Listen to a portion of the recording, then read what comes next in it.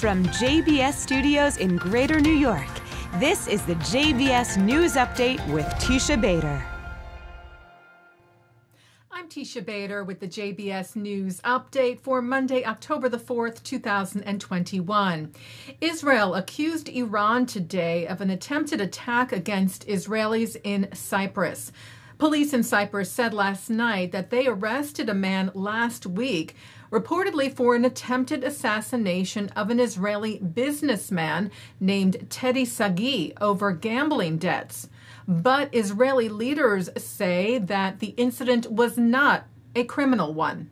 Israeli Prime Minister Naftali Bennett Spokesman Matan Sidi said today regarding some of the reports last night about the incident in Cyprus, I would like to clarify on behalf of the security establishment that this was an act of terror that was orchestrated by Iran against Israeli business people living in Cyprus, adding this wasn't a criminal incident and businessman Teddy Sagi wasn't the specific target of the attack. Sagi, by the way, was warned at the last minute about the attack and fled Cyprus safely. And Prime Minister Bennett told the Knesset today that agents from Israel's intelligence agency, the Mossad, went on a recent mission to find information about Ron Arad, a weapons systems officer in the Israeli Air Force whose plane was shot down during a mission over Lebanon in October of 1986.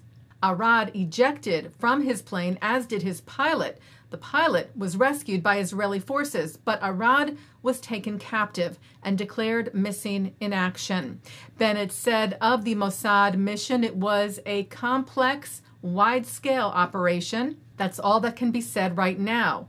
We made another effort on the path to understanding what happened to Ron, and Bennett promised to continue to act to return all our boys home wherever they may be. Well, a correction now to a photo used in a story we reported to you about last week of the trial of Irmgard Furchner, a former Nazi concentration camp secretary who skipped out on her first hearing in Itzehoe, Germany last week. A photo that was widely used in the media, including here on JBS, identifying Furchner, who faces charges of complicity in the murder of more than 10,000 people at the camp, is in fact not her, but is a photo of 99 year old Holocaust survivor, Yehudit Sperling. Sperling survived the Stutthof camp where Furchner worked, and her testimony is part of the case against Furchner.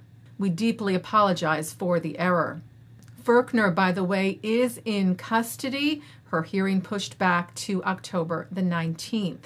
Sperling lives in Tel Aviv. She was awarded the Life Savior's Cross by Lithuania for saving the life of a Jewish child during the Holocaust. Her lawyer, Onur Özata, told the German paper Bild about the trial, these proceedings are of particular importance to my clients.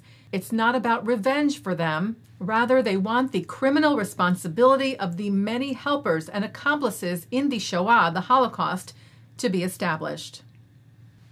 Professor David Julius has won the Nobel Prize in Medicine together with fellow American scientist Ardem Patapoutian for their work on receptors for temperature and touch.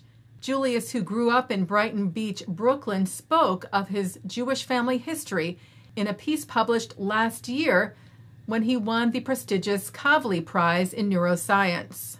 Julius wrote he grew up in a seaside Brooklyn neighborhood that's been a landing pad for Eastern European immigrants like my grandparents, who fled Tsarist Russia and anti Semitism in pursuit of a better life. Taking a look now at our programming for tonight on JBS for Monday, October the 4th.